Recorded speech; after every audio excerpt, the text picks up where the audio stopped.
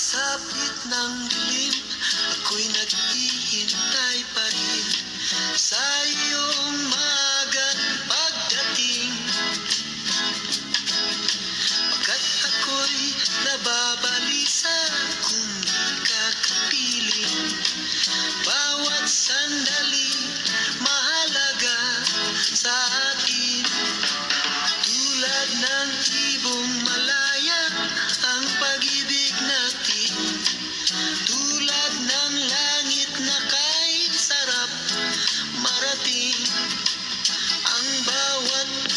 ng puso kay sarap damhin.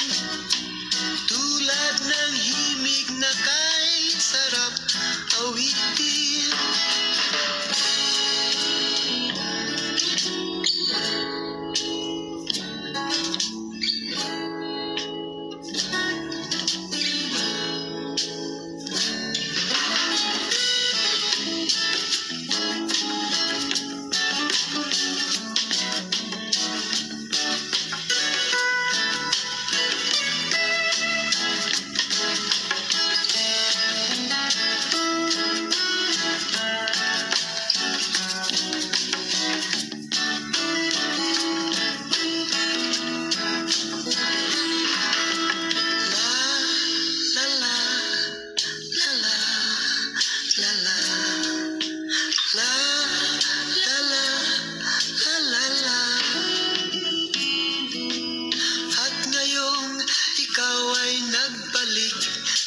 In.